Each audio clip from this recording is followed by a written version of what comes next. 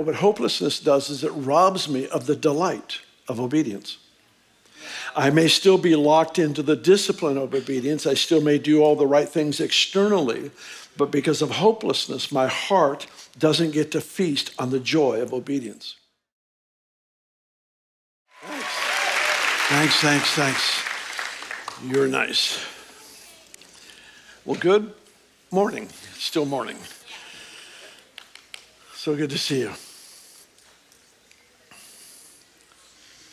And all of you online, by faith, I see you.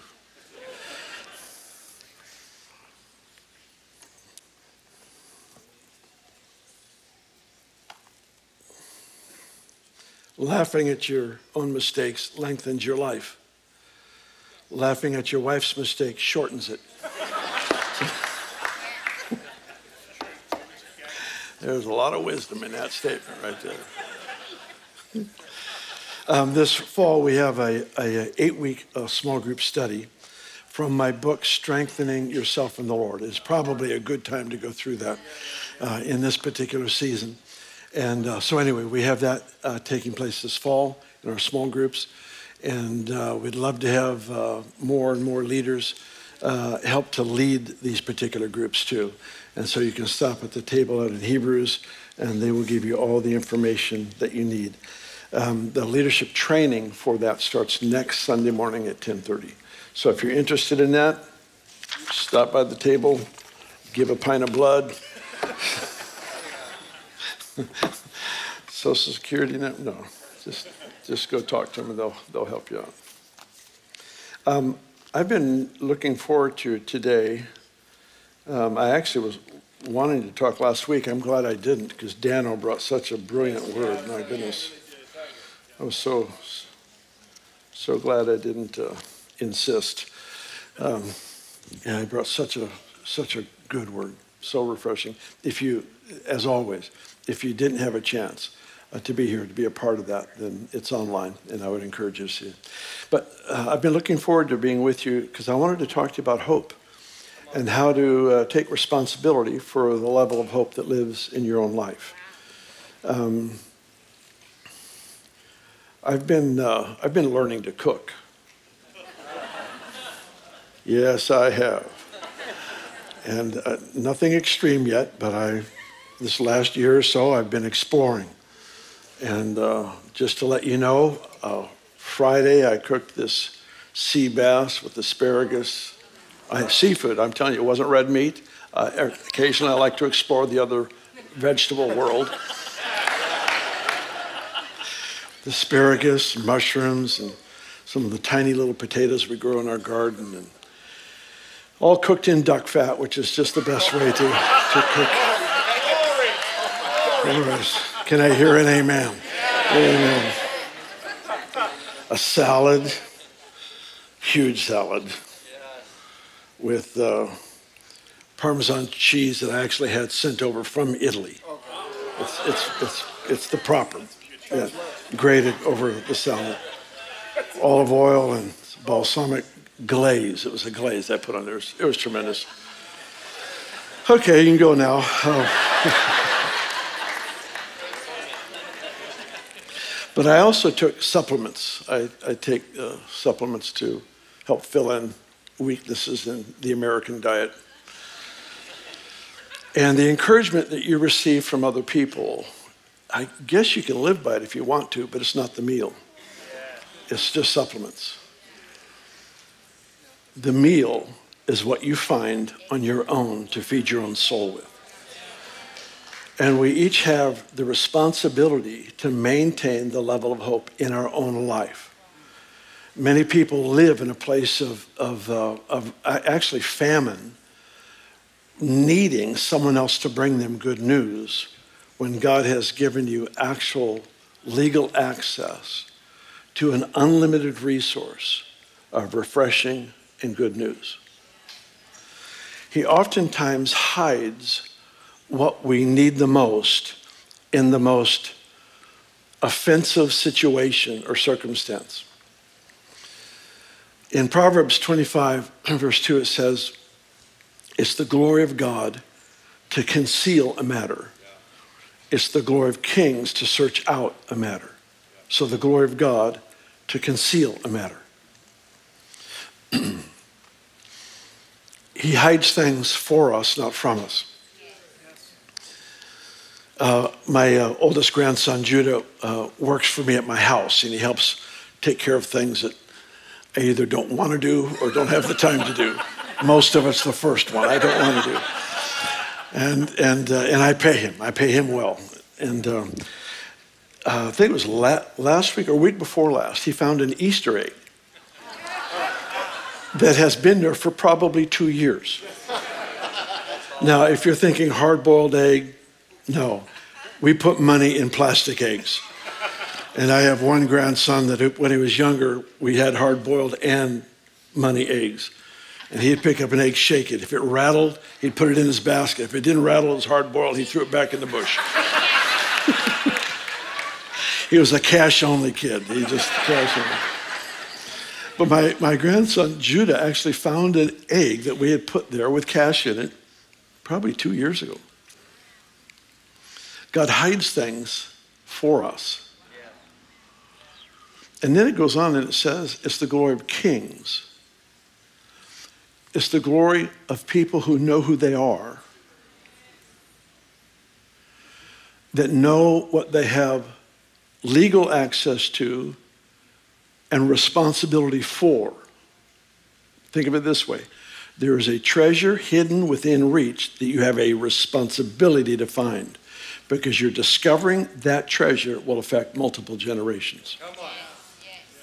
We're not talking about just personal, uh, you know, just encouragement for yourself. That's huge. But it's not just personal pleasure, personal success. It's the responsibility of creating a momentum of being a generation who hopes in God in all situations. A responsibility. I have a responsibility to find, to apprehend, to lay hold of what God has put within reach. I remind you that that's the way he described the kingdom of God. The kingdom is the realm of his dominion. So everything that exists in heaven that he wants to be released, if you will, on earth, on earth as it is in heaven, is in that realm called the kingdom. And he said the kingdom is at hand, it's within reach. It's here, it's now, and it's obtainable. Unfortunately, many choose to live with the theology of a kingdom that is present but never learned how to find the treasures that have been hidden. The enemy works hard to keep us distracted through anxiety, through fear, all that, those family of bad decisions, um, to keep, keep us anxious so that we lose sight of, we lose um, awareness of the solutions that God has for us. The enemy works to make us anxious so that the problems we face appear bigger than the solutions we carry. God intends to work the impossible through a yielded people. What hope does is it positions me for surrender. What hopelessness does is it removes from my awareness the beauty of sacrifice. Hopelessness robs me of an awareness of why obey, why sacrifice, why pay a price. Let's uh, make it simple. If, if uh, let's say that you and your family were going to take a special vacation next year, and that vacation, uh, you've got 12 months to save up for it, so you've decided to I don't know, cancel the movie channel, uh, to not eat out, uh, you know, for six months or whatever. It's, it's you, you just you make sacrifices because you have something more valuable, more pleasurable at the end of the sacrifice. Yeah.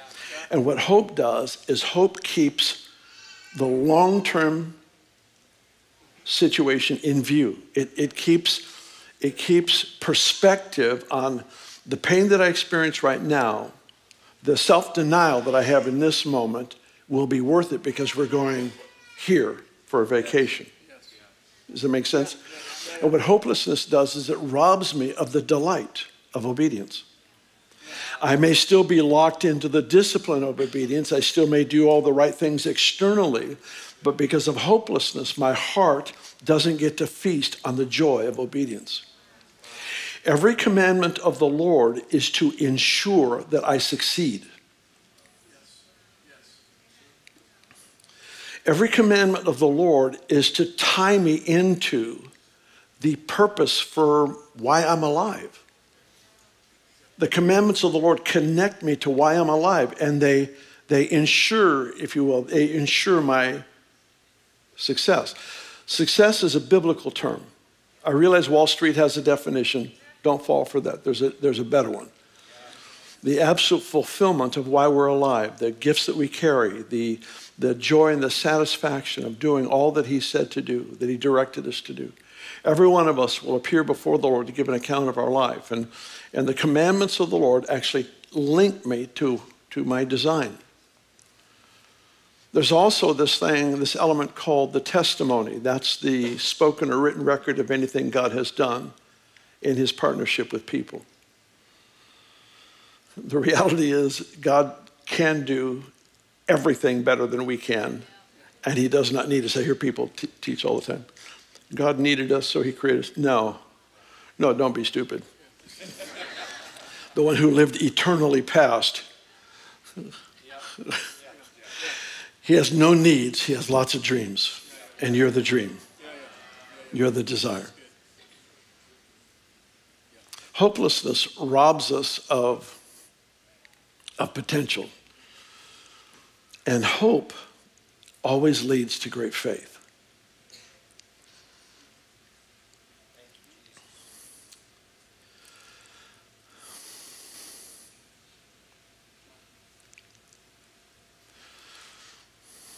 Hope anticipates. Hope actually attracts circumstances that aid us in fulfilling our purpose. Hope is a magnet. People with hope actually attract opportunities, actually attract the building blocks of prophetic words, if you will, into their life so that they can fulfill their reason for being. Hope really is a magnet. It magnetically attracts into our life the building blocks, the things that we need.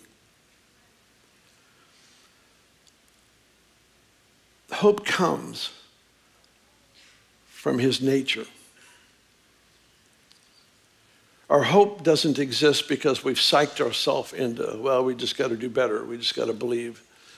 It's, it's, hope is not the product of determination. Much like faith, hope is the product of surrender. It's yielding to the reality of who He is. I want you to look in your Bibles at Psalms uh, 42. We're going to look at just one simple passage in a moment. But to help us with this, hope actually is the product of His presence. Nobody looks into the face of God and walks away without hope. Hopelessness only reveals the distance between my face and his. It grows in the, it, it grows in the space between encounters. It grows in the space between awareness of the Spirit of God upon my life, in my life. Hopelessness grows when I give my heart to what other people will call common sense.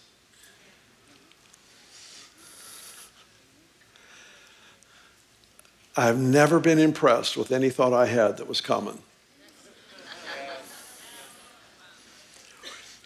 There's nothing life changing that is common.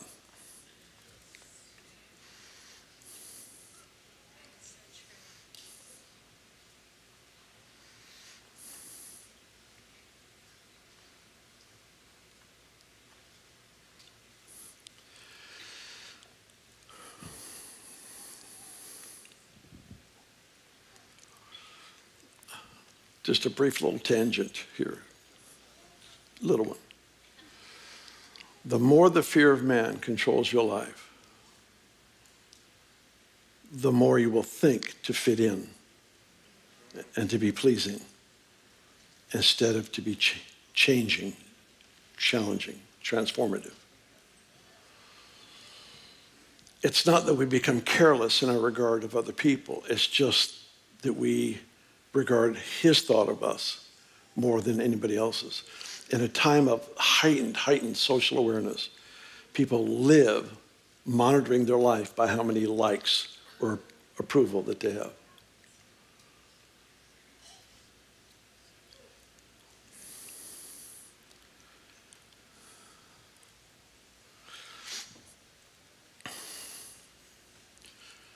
And the one way to silence many Christians is just to call them a conspiracy theorist.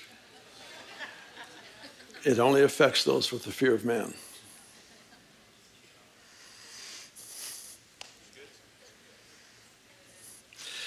All right, I feel better. Let's move on. Let's actually go to the Bible and see if we can find. Verse 5 of Psalms 42. Did you find that? 20 minutes ago. All right. Verse 5 Why are you cast down, O my soul? Why are you disquieted within me? Hope in God, for I shall yet praise him for the help of his countenance. That last phrase, I don't know what it is. I, I forgot to look in New American Standard and some of the others. But I, there is a translation that I really like. It's the complete uh, Jewish Bible Instead of for the help of his countenance, it says for the salvation that comes from his presence. So let me read that verse again with that last line because it, it actually helps. The reason I'm reading this is it, I am reminded in this scripture the birthplace of hope in my heart, the place where this tangible sense of the Spirit of God becomes so pronounced in me that the circumstances around me can all shout one thing, but I've got something burning, me, burning in me that says another. It's that element of hope. And hope is displayed as hope in the middle of controversy, in the middle of conflict. So let me read that verse uh, again with that in mind. It says, Why are you cast down on my soul? Why are you disquieted within me? Hope in God, for I shall yet praise him for the salvation that comes from his presence. Hope in God. There's this um, verse in uh, it's Exodus, excuse me, Ezekiel. We'll start with an E. Ezekiel 39, verse 29, that says, the Lord speaks and he says, I will not hide my face from them any longer, for I will have poured out my spirit on them.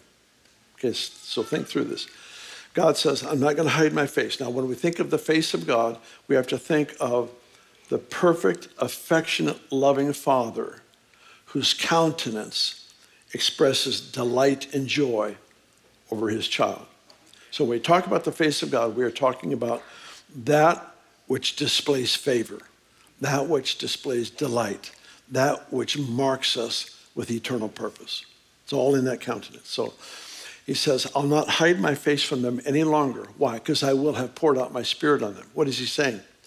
The outpouring of the Spirit always contains the face of God. Anytime the Spirit of God begins to move in a room, maybe it's in worship, the face of God is there. Anytime uh, God begins to move in a room and people start getting healed or people come to Christ, marriages start getting restored, people uh, abandon the bitterness, the resentment that they came into the room with, and they start getting freed up and delivered. What's happening? In that move of the Holy Spirit, the face of God is behind it all, which is what? The delightful face of a loving Father is behind that outpouring. And it is the birthplace of hope. Seeing who is there, seeing his heart, his purpose, his plan you cannot help but have hope in that situation. The Lord the Lord gave us statements like, um, all things work together for good to those who love God, called according to his purpose. All things work together. I've even stated in recent weeks this, this reality. It's a good reminder for me, it's a good reminder for you.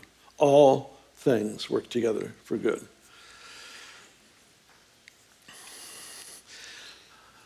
My favorite restaurant is French Laundry. Amen.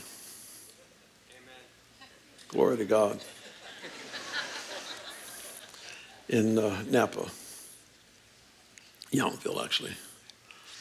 And I remember the first time I went to this restaurant. Now, I, I just like things when I can tell the chef or the architect or the, you know, the uh, author or whatever it might be, they were so intentional in the way they laid things out.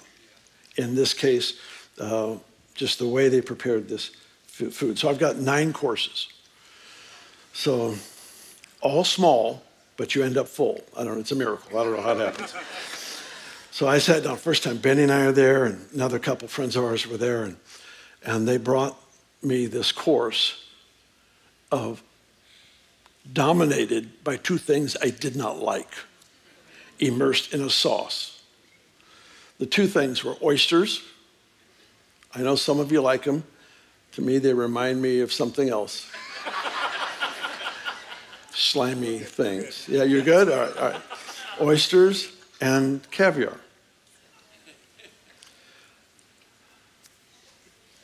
Was never a fan. So they served this, and I looked over at Beni and I said, honey, I'm paying too much money for this to not at least taste it. So I took a bite, and I, I looked at her and I said, I want a chili bowl full of this stuff. how, how could he take two things that I don't like, mix it together with a bunch of things I do like, and make it to this date one of the best things I've ever eaten in my life? The same way our master chef takes the bitter, the tasteless, the meaningless, the stuff that's too spicy, the stuff that's too sweet, the stuff that's too sour, and then put it together in the perfect blend. And at the end of your life, you look back and you say, I wouldn't change a thing. I wouldn't change a thing because every single part of my life he took by his grace and he worked it together to it brings him glory and it's the most satisfying meal I've ever had in my life. I wouldn't change a thing. He has promised us. He has designed life in such a way that there are always discoveries to be made. He's the one who said, Though I walk through the valley of the shadow of death, I fear no evil because you're with me. So, in other words, the great treasure is in the middle of the greatest loss. You can feed your soul on whatever you want. But you have the opportunity to encounter God in a way that you'll never have a chance outside of the valley of the shadow of death. It's not self determination, it's surrender. It's yielding to the purposes of God, it's yielding to the Word of God. He is the one who has declared this to be so. He goes on and he says, He sets a table before me. That table is a place to eat. French laundry. Yeah.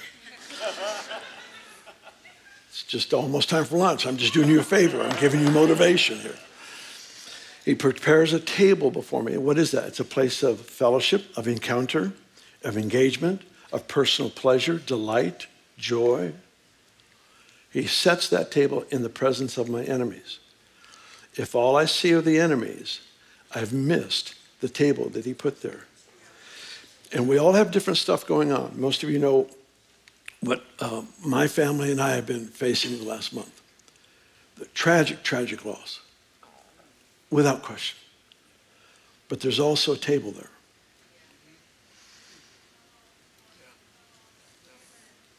There's a table. There's a table of intense fellowship, of great delight, of personal pleasure, of satisfaction, of fulfillment.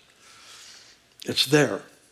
It's much like the Easter egg that's been hidden in a bush. I know it's in there. In our Easter egg hunts, we put small amounts of cash in most of the eggs, but there's a few eggs that will have a much larger bill in them. And one of my grandsons,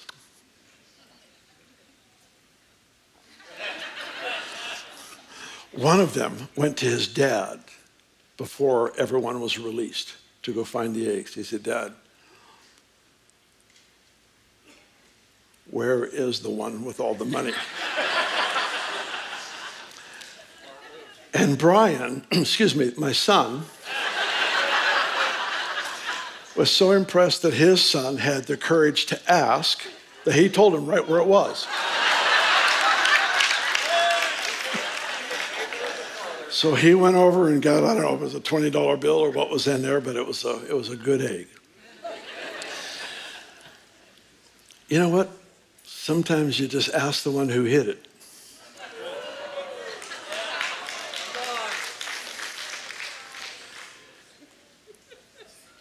Just, uh, it's a funny story, and there's, there's more, but we'll leave that right where it is. But just think with me for a moment.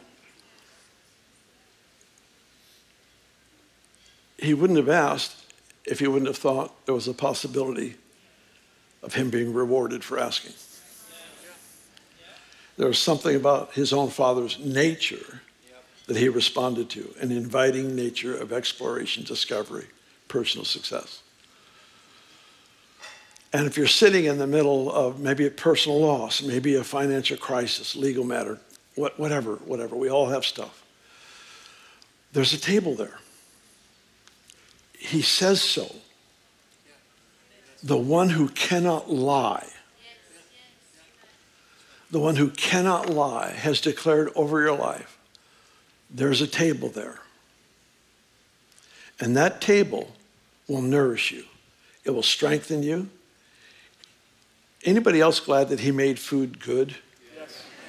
Except for cilantro. It's uh,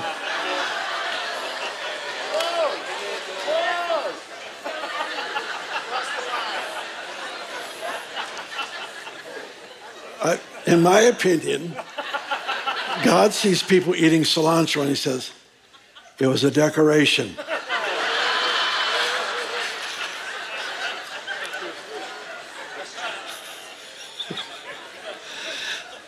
I just offended three quarters of the room.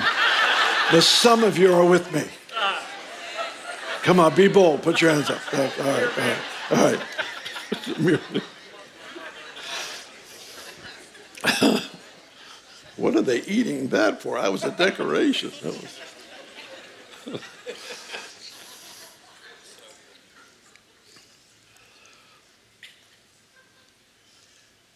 the table that he set is not just for your strength, it's for your pleasure.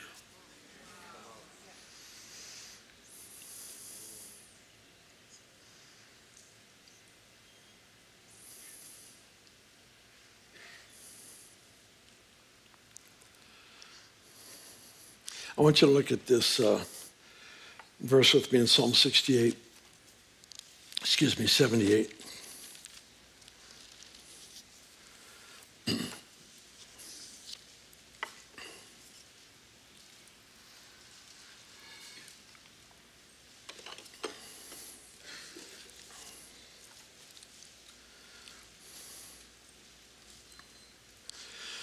Hopelessness is heart disease in the church. It is the root of heart disease.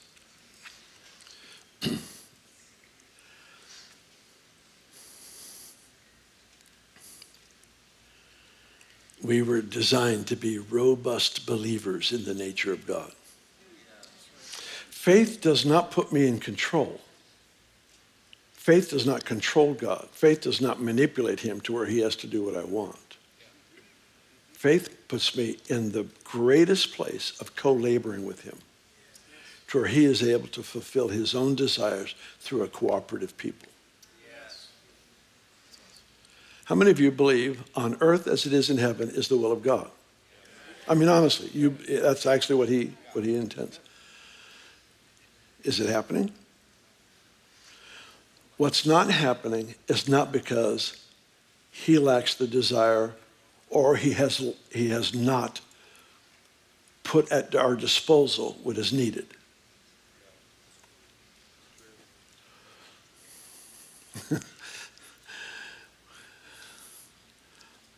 that may be too large of a piece for me to take with 13 minutes left, but let's just try. It's not because there's lack on his end of the equation. He's done everything necessary now it's up to you and to me to explore and discover what He's put at our disposal. Well, why did this happen? I don't know. I, I, I don't have answers for most things. But I do live aware of the fact that there are realities that surround certain problems that we've not yet learned how to dismantle. And in this pursuit of the one who hides things for us is the pursuit of solutions, answers, and breakthroughs, one by one, that aligns that part of this world with heaven. And that is our task. That's our responsibility, is to implement on earth as it is in heaven. Psalms uh, 78 is, uh, is a, a, tremendous psalm. It, it's, a, it's, an, if you could, it's an aerial view over Israel's history. Their successes, their failures, their failures, their failures, their failures, and a moment of success again, and then their fail. And it's, it's kind of an aerial view on how and why these things happen. And it's an extraordinary psalm, but what he does in the psalm is he highlights the elements that brought about their success, the elements that made life work for them the way he designed it to work.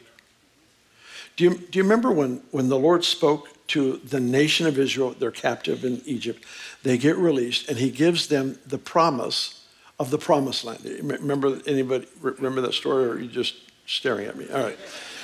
Dan remembers, so I'm going with you, Dan. You and me. All right. So we got this whole thing of the promised land. A whole generation. Did they get in? Nope. Well, did God lie? Nope. nope. They just disqualified themselves for what he promised. And what we're learning to do is how to not disqualify ourselves for what God intended. Sometimes we get it good, sometimes we miss it by a mile. Is anybody tracking with me here? All right, well, I'll just talk to me then. All right, so let's go to verse uh, Psalm 78 and um, verse 5. He says, He established a testimony in Jacob and appointed a law in Israel. Okay, testimony, spoken written record of anything God has done, and a law. Once again, God gives us commandments to ensure our success. His commandments are not uh, restrictions or restraints, they are not to keep us from pleasure. His commandments keep us from immediate pleasure that destroy long term pleasure immediate success that destroys long term success.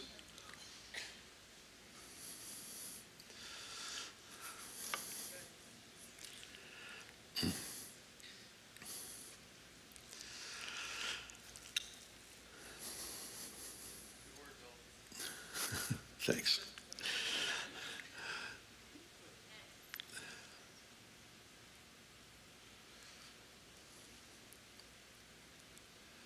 My credit will allow me to buy things I will regret buying later.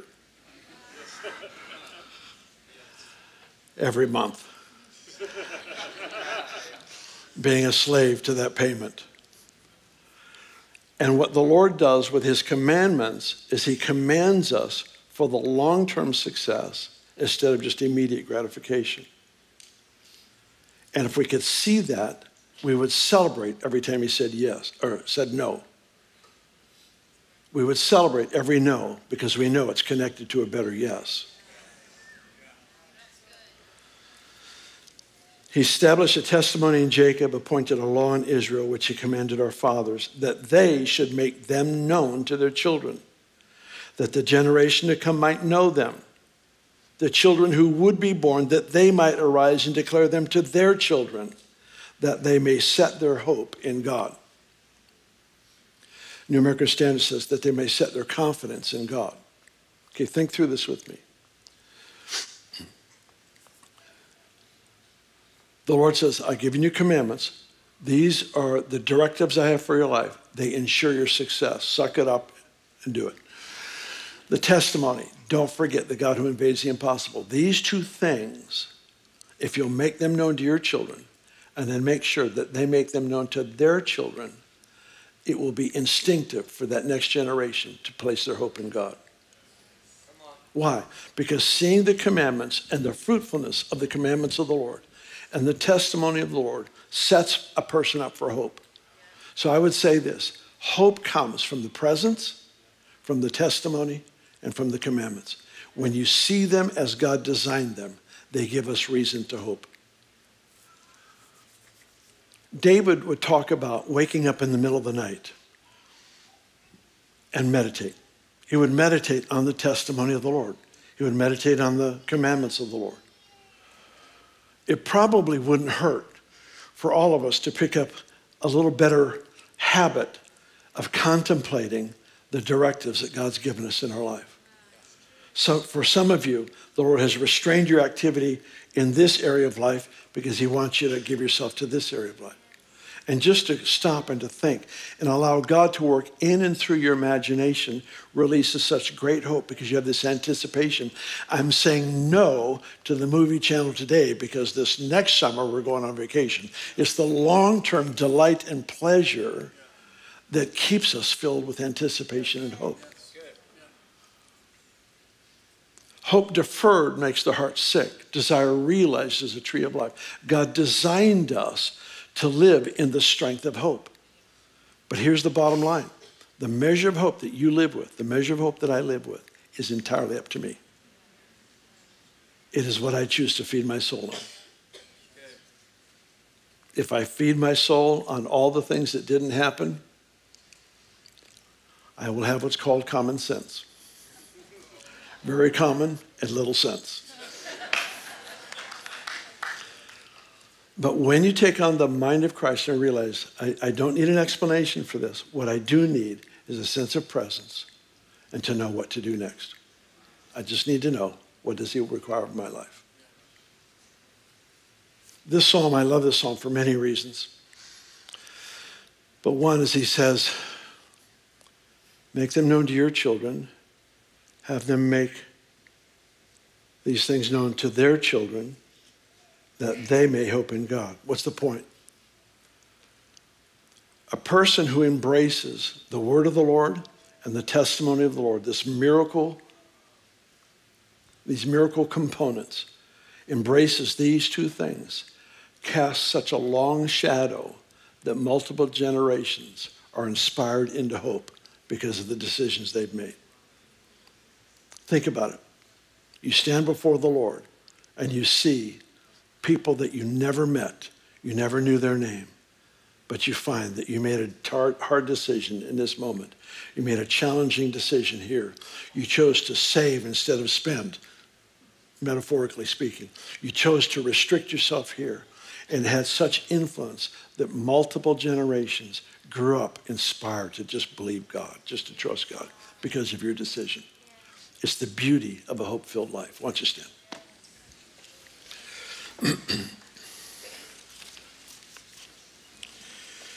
Job said, Though he slay me, yet will I hope in him. Well, it's, it's like, what options do you have? You can hope in him or yourself. Oh boy.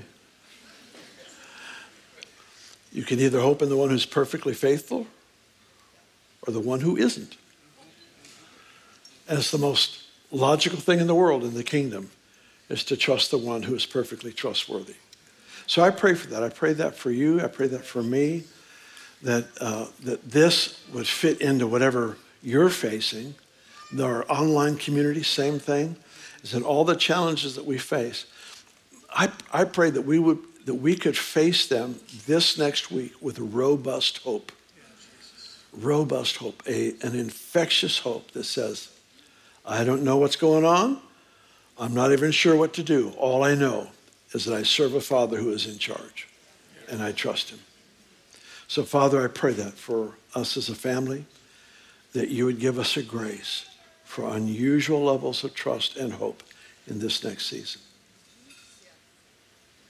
I want to give opportunity for anyone here who has never placed your faith in Christ for your salvation.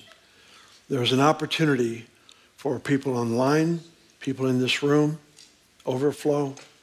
It's an opportunity for those who would say, I know that I'm not at peace with God, but I want to be. I want to be a disciple, a follower, one who's committed to follow Jesus. If there's anybody in this room that is in that place where you would say, I don't want to leave the building till I know I've been forgiven of sin, that I've become a part of God's family, if that's you, just put a hand up where you are. We're going to take just a moment for this, just to, just on somebody way back over here. Wonderful. Yes, I see this. Yeah. Anybody else? Wave your hand. Yep. Any, I'm sorry, is there another one here? I, I, I missed it. Anybody else? Okay. All right, wonderful. So, right, oh, that's a two year old child. That's awesome. I see that hand. That's beautiful. that's the best. That's awesome. Thank you, Lord. All right, here's what I want to ask. Those who just raised your hand to commit your life to Jesus, it's very important that you do this next thing. Over here's a banner to my left. We've got people over here that we know and trust. I want you to come to them and talk with them. They will pray for you. It's not about membership here, it's just simply about a relationship with Jesus. So, anyone in this room that is interested in that, come over here. I'd like to have the ministry team come to the front and uh, come on up right now if you would. We're going to open it up, and uh, Leslie, come on up and tell them what to do.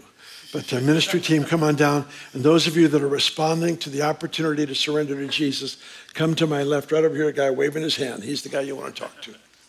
Yeah, I'm so glad that you uh, watched this video. I do pray that it's a great, great strength and encouragement to you. And I've got a verse that really is my cry for all of us. And it's uh, Psalms 20, it's verse 4. May He grant you your heart's desire and fulfill all your plans. That's my prayer. That's my prayer, is that this would be the season of rich, rich fulfillment. Thanks for joining us.